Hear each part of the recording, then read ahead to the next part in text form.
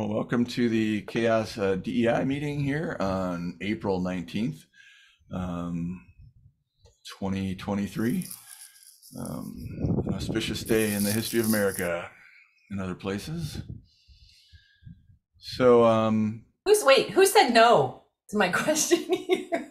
no, Is that you, that Matt? does be Matt. That's a Matt, That isn't was right me. there, or as I call him, Brian. It's a it's a Brianism. No. All You right, didn't follow so- the rules. The rules are pick one. All right, so who wants to facilitate next week because I will not be able to. I can do it. All right, done. So now we've got event location inclusivity and equity metric. Uh, you want to? yeah, I worked on that, and I think Kevin had some comments, if I recall, from Slack, maybe.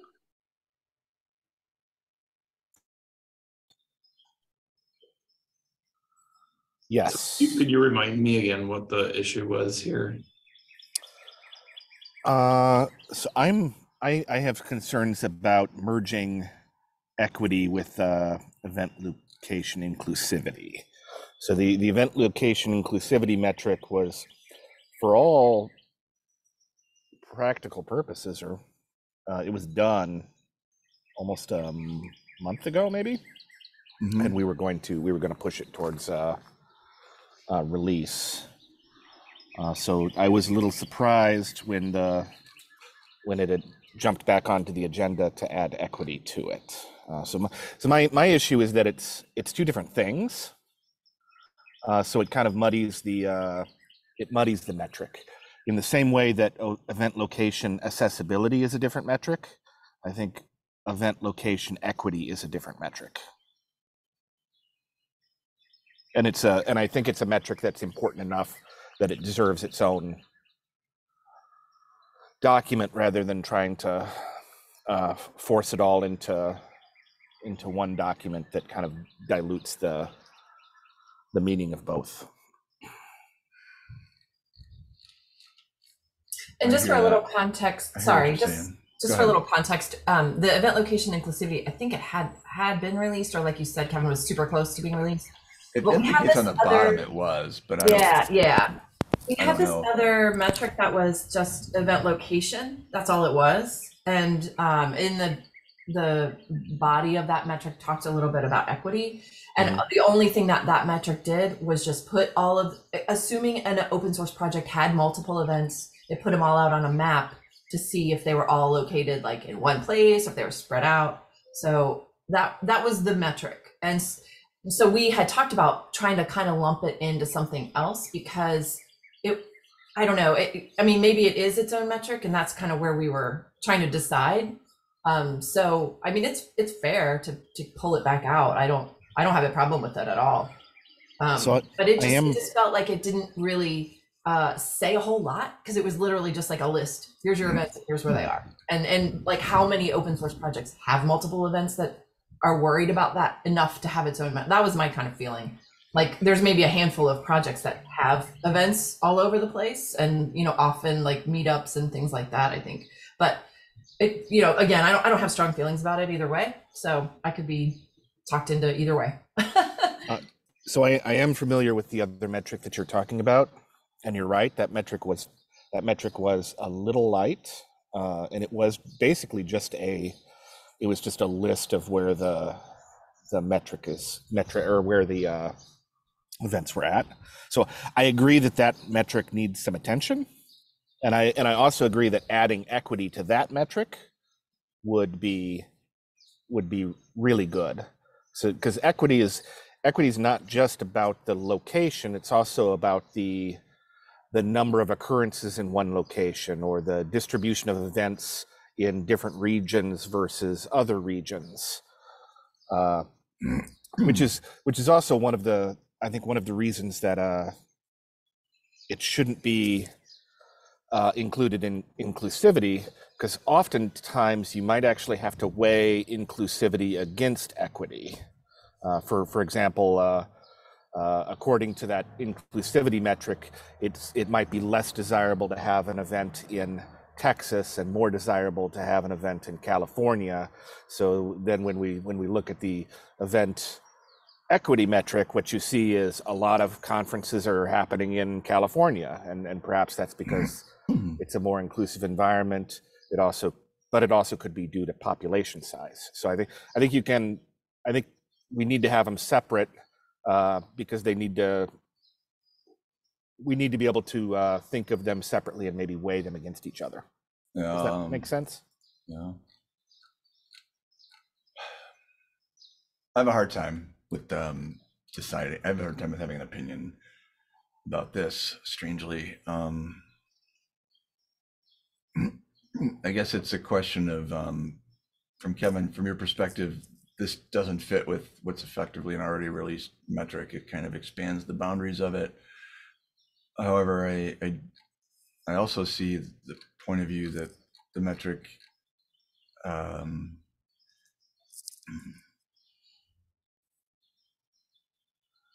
in some sense that like these original three things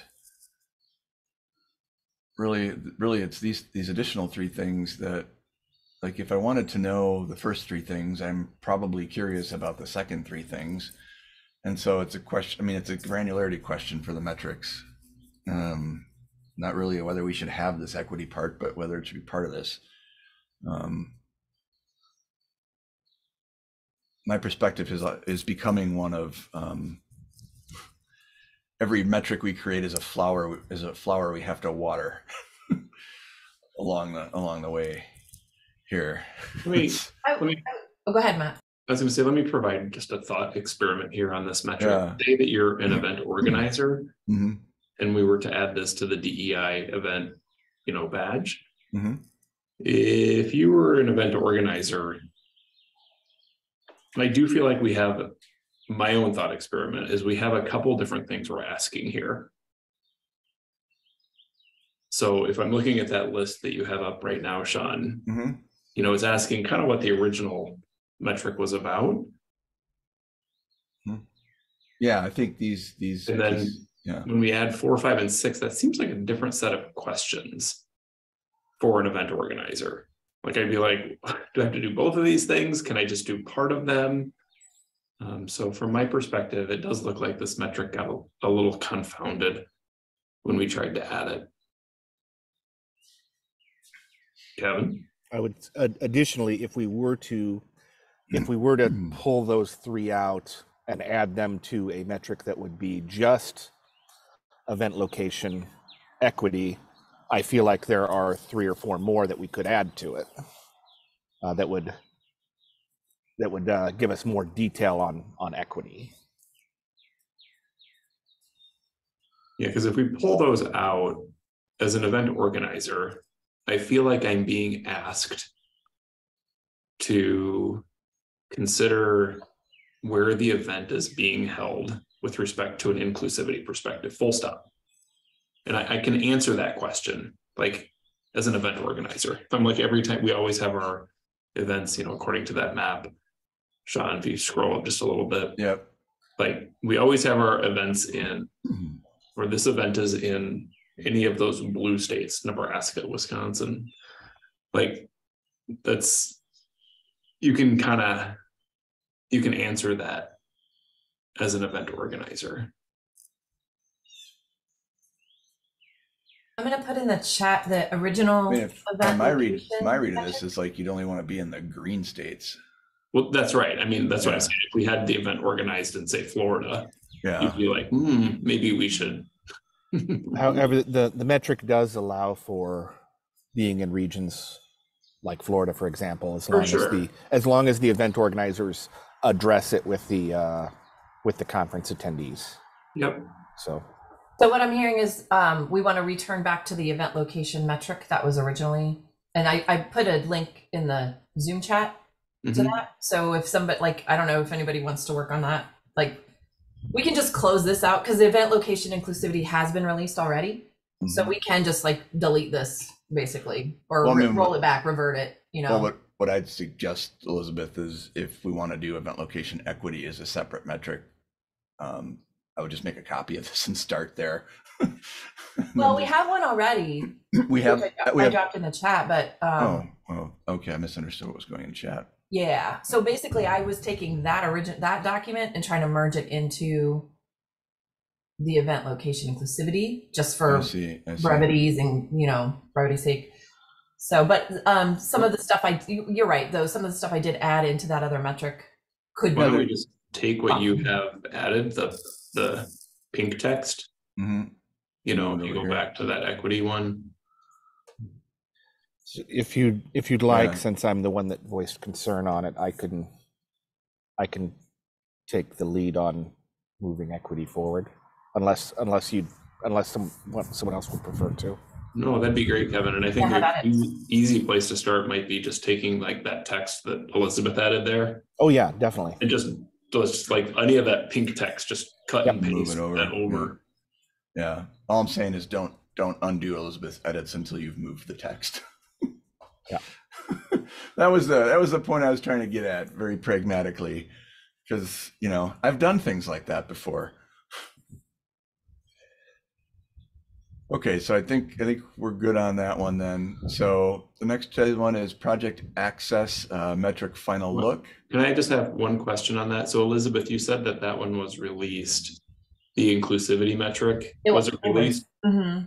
Is it basically released without any of that pink text that you added? correct. Correct. Yeah, Okay. Is it on the website? I think so. I can double check that though.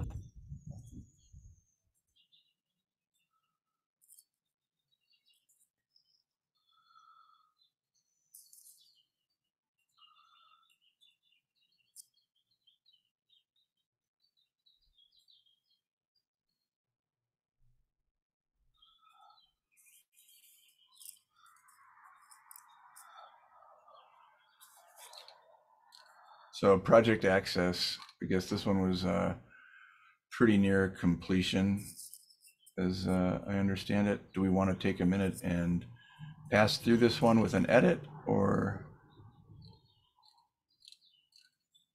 I'll share the link in the chat.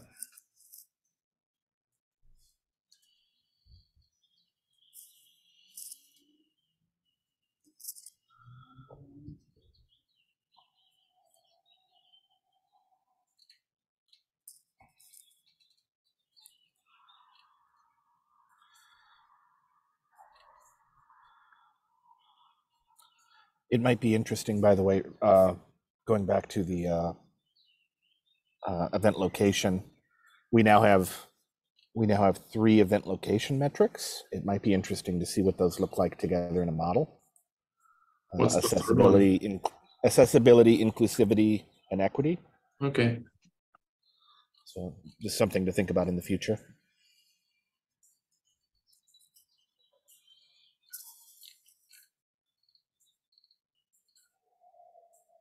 What do people want to do with this?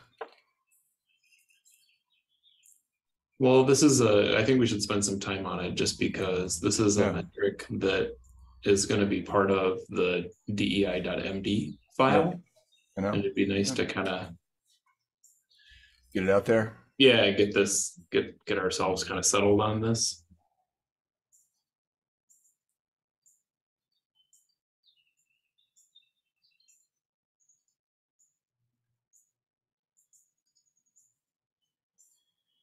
Is the DEI.MD file a way of, I guess it's an assertion about project status, but it's a little bit circular to have it in the data collection.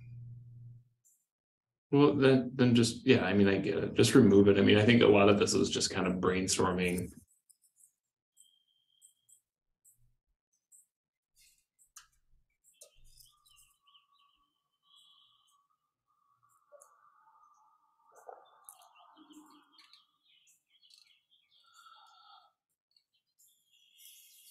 And Kevin, remind me, is this the one that you had kind of put together? You and I had been chatting on those last two metrics.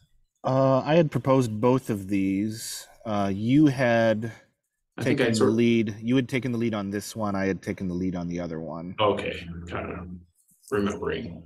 Uh, but I've I've already I have already heavily edited this one. I think. Yeah, I think we've both taken a look at each other's. It just is Uh. to bring them here. And then I just added some accessibility points of reference.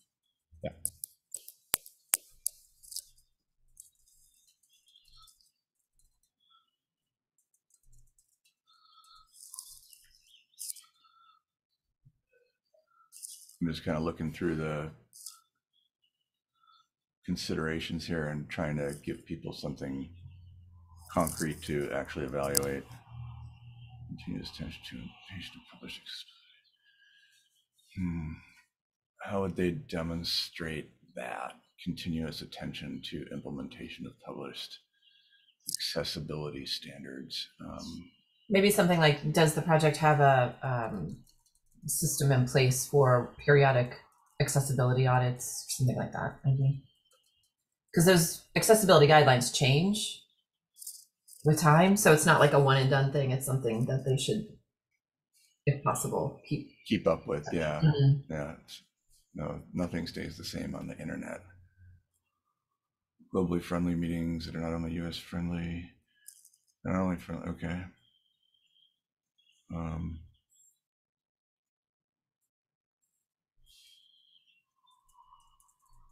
meetings in diverse locations. Does the project have?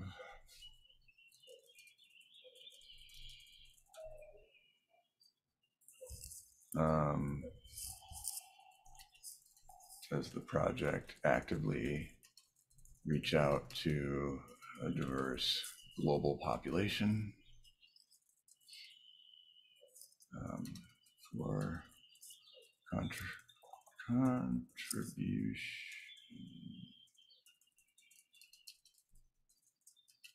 Support. Um,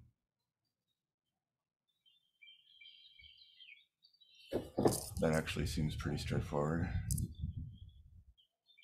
Okay. Are there particular languages that we recommend having translated? Or are we just talking about like a WordPress plugin for language translation?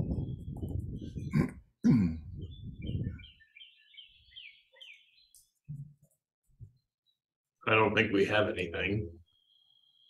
Well, like on Cha- CHAOSS, we do. We do have a language translation plugin on our Wor- WordPress website, and I'm kind Oh, of it's a asking. Question, yeah, I know, I don't think we have anything at least recommended here in this metric. I mean, Kevin could put what he uses on, what he used on the WordPress one.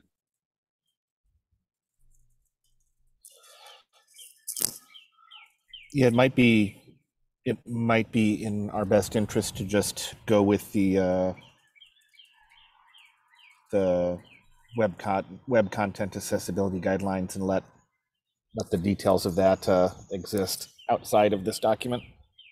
Is that a is that an accessibility thing? The translation? Yeah, I think translation is an accessibility issue.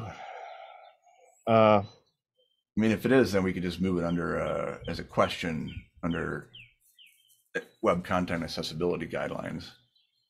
yeah, that's fair. Yeah, yeah, I think tran- translation is definitely an accessibility, uh, issue. Okay.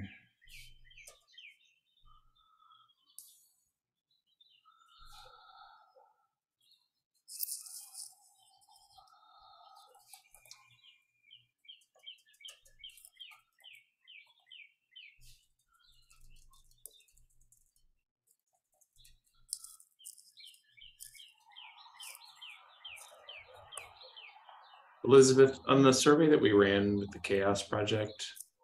The, are there questions about this, like access? Do you remember? I believe there are. We might want to, down in data collection strategies, link to our blog post. Okay, I'll double check that. Yeah, let me double check that.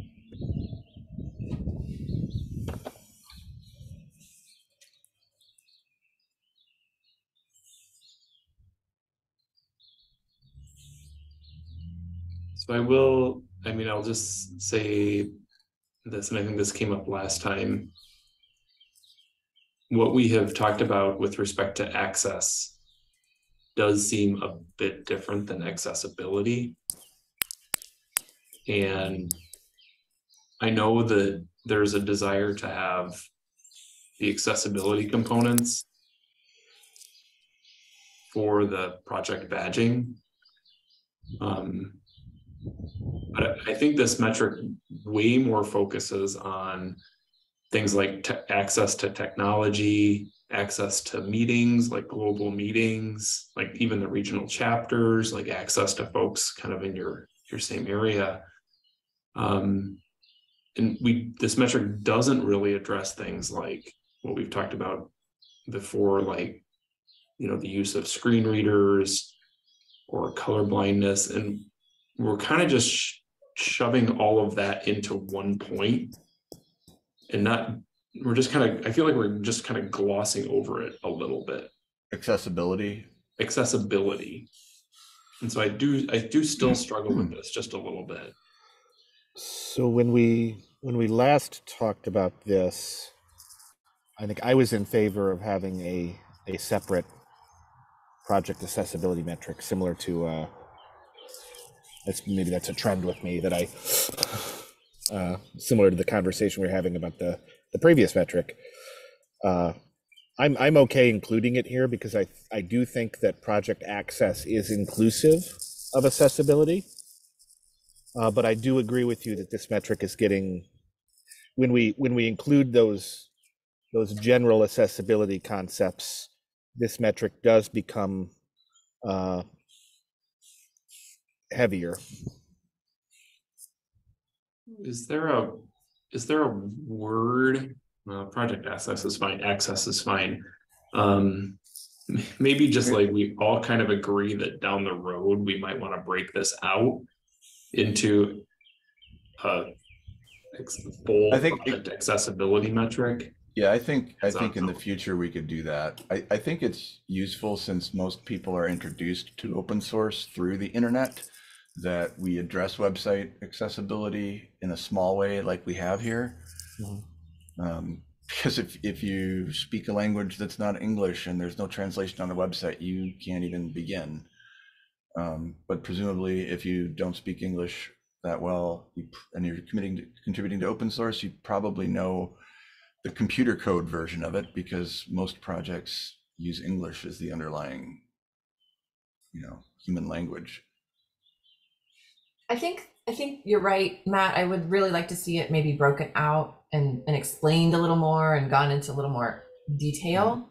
Um, I think for for this purpose, I would I, I'm okay personally with keeping it in as just like a, an umbrella of, of project access and like Kevin said, it's a component of it. Accessibility, the Mhm. traditional accessibility is a component of it. Because I think this also does touch on things like chat platform inclusivity and different like neurodiversity uh, accessibility issues that um, are are also explicitly brought out and mentioned. So I think it's okay for now. Um, and then you know as we go, I would I would rather see it be in this and this be part of the DEI.md file than like a separate metric that kind of doesn't get in involved. You Yeah, know? I, I agree. I mean, I totally agree. It's just a note for the future.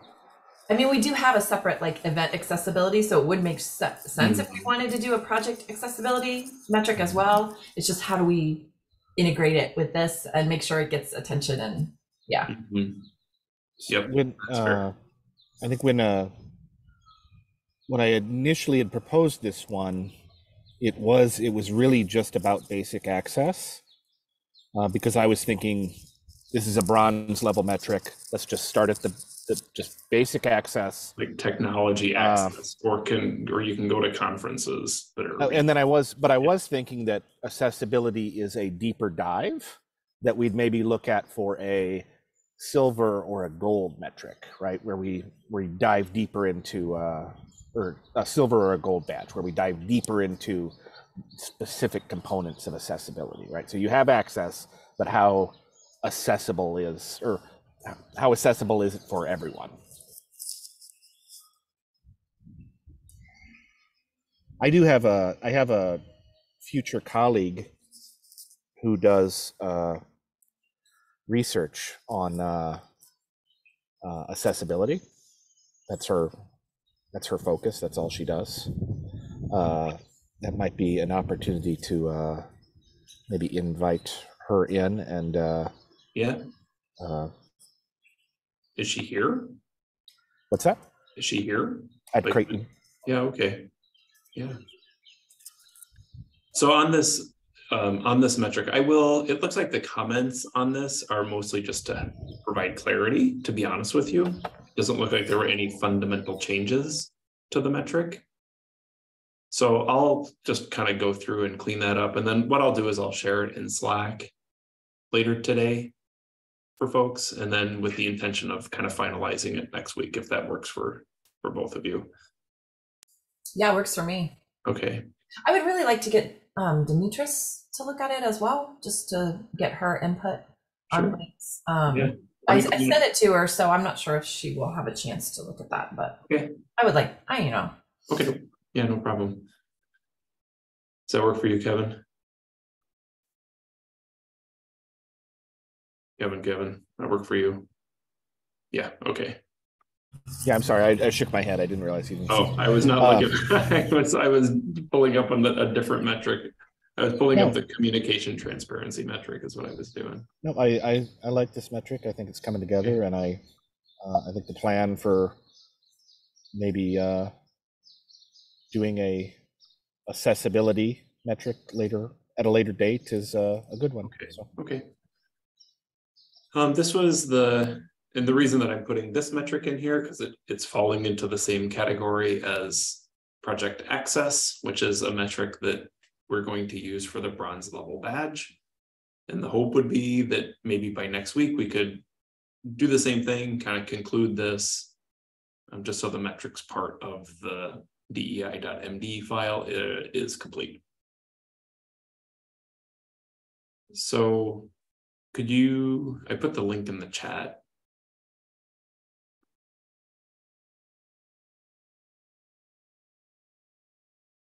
Did I put the right link in the chat? I don't know what I. put. yeah, I'm in there. I'm, I'm Okay. looking in this cast community though, so it may, Okay, and you're looking at communication transparency? Mhm. Okay. Actually, you came in as a jackalope. nice. We're just giving this a read, right? That would be, that would be really helpful. Do we want to pause or no? Five minutes, I don't care. Okay, we'll just People let it go. fast forward. Yeah.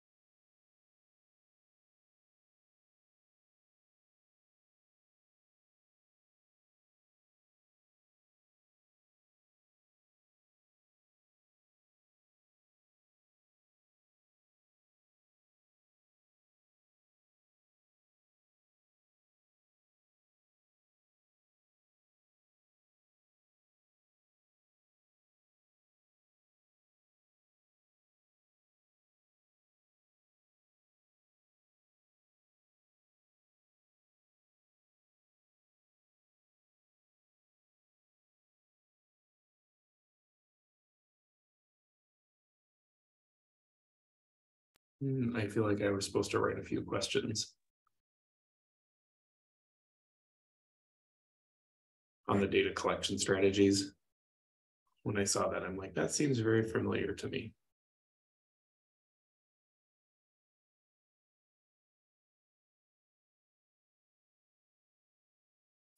We could just leave it to the person implementing. Just just come up with some questions. That's that's all the guidance we're gonna give you. Just Survey question. that. Where's our, we have a, like a model for survey questions. It's like a zero to X. Yeah. You might want to look at like I think Project Burnout has a good that metric. Has a good uh, structure for that.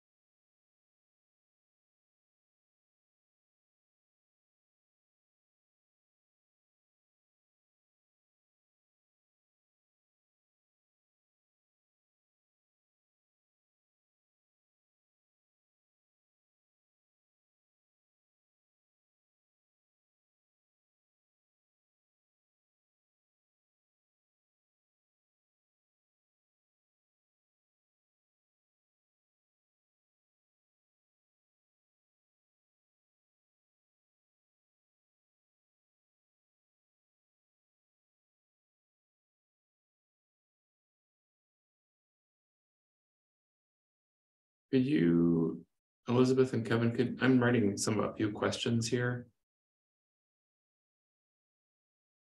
Could you both just maybe write like one question that comes to your mind?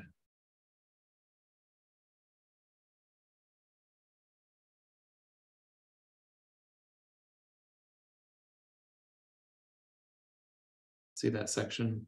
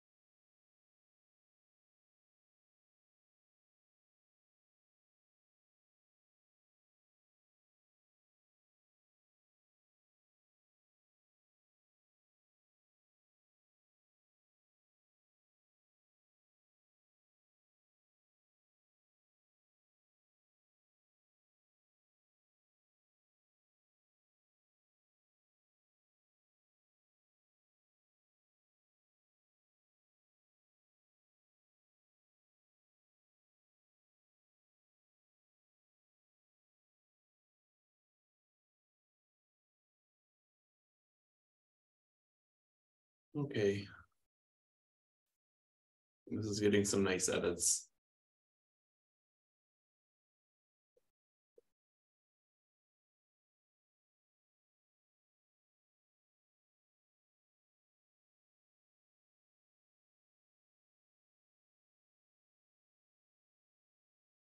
So Elizabeth, would you be okay to clean this one up? Like kind of accept changes? Because Kevin has the project access. Or wait, I'm doing Project access and Kevin's starting that, the, Event location. yeah, the, the Yeah. equity one, that way we I can can all take this. agree, No problem.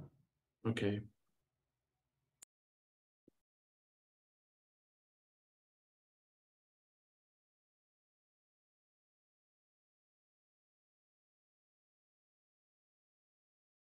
And again, this is, I think with an eye on kind of concluding these two next week, outside of minor changes at that point. Project access and communication transparency. All right, um, I did have one last thing. This is also for you, Elizabeth. Can you, you see on the top of page two? Can you update, I don't know if I can. Can you update the calendar invite that gets rid of the mailing list comment? You're muted. Sorry, what are you looking at? If you go to the top of page two, Of the, oh, of the this is what the invite looks like. Yeah. Okay, You Yeah. see the join DEI mailing list, got you, got you, got you. delete that. Yeah, let me just give myself a little reminder.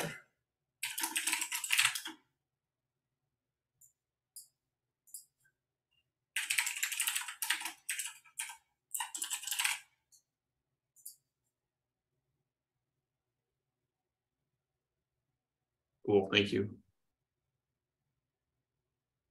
I accidentally clicked on it to join this meeting today, and I was like, oh my goodness. Where What is am I? it? Does it just take you to a broken link or where does it take you? No, you? it takes you to like the mailman archives. Yeah, So, yeah, yeah, we'll fix that. okay, thanks. Okay. All right, there, we did a lot of good stuff today. Yay, productive. All right. Um, any comments from anybody? You good, Elizabeth, We're Kevin? good? Yeah. All righty. Till next time, everybody. It's good to see you all. See ya. Bye. Bye.